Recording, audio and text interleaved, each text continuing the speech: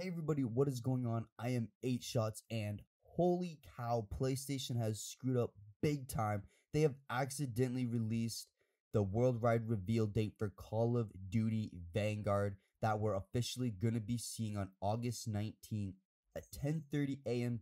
Pacific time in Call of Duty Warzone. So it is going to be an in Warzone event, just like we saw with Modern Warfare. Now I'm almost positive at some time later today or tomorrow on Tuesday, Call of Duty is going to be making an official announcement saying when we're going to be getting the official event reveal update. And when we do, I'll be sure to update you guys here on the channel. But so far, all we know as of right now is that we're going to be seeing it on the 19th in Warzone. Now, in my opinion, over the last couple of days, you've been getting a bunch of teasers and tiny cinematic little clips showing us tiny glimpses into the World War II era that we're going to be going into. And to be honest, between Pawn Takes Pawn and this, I've been I've been rather much preferring the tiny leaks and details we've been getting this time around this year than Pawn Takes Pawn. Pawn Takes Pawn was fun because it got the entire community together to group up and do this one big adventure quest online. But to be honest, for me, it just wasn't my slice of cake. It wasn't what I like to do. So I much rather prefer the teasers we've been getting here for Vanguard. Now the big question lies, what could the reveal actually be? Now, for the last couple of months, some leakers and data miners have found an uh, event in involving an armored train with a bunch of explosives on it. So that could have been either a scrapped event or something we're going to be seeing coming in with the numbers event and it's somehow going to involve an armored train and we need to attack it or defend it or something.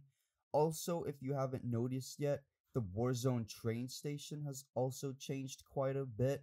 There's new trains at the train station that look a lot different and if you're in the station, you can also hear a woman's voice over the PA saying that the train is not going to be arriving to the station and it's being put on hold. So I'm really interested in how they're going to do this, how they're going to incorporate the train somehow. People have also found, uh, data miners have also found leaks of like juggernaut esque World War II type juggernauts so I have no idea how that would work. For some reason, in my mind, I'm picturing like a very old, like Iron Man Mach 1 type suit. You know what I mean? Just an old metal clunky suit with maybe a couple like drapes of clothing over it. I don't know. That's just what I picture when I think of like World War II Juggernaut.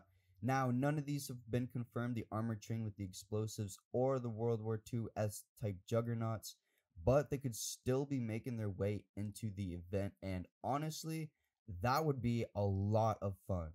I could see this having the potential to be a lot more bigger than our first Warzone reveal was, where it was just the nuke and we had to go like location to location picking up things. That was fun and all. I liked going in there with my team and doing that, but you really weren't doing much, let's be honest, until you found Frank Woods at the end. And then you kind of just chilled there until the event counted down and it happened. Hopefully, this one is a lot more interactive and we can fire weapons and just do more. But like I said, it does look like maybe later today or on Tuesday, Call of Duty is going to be making an official announcement on this. I will keep you updated here on the channel. But until then, peace out, guys.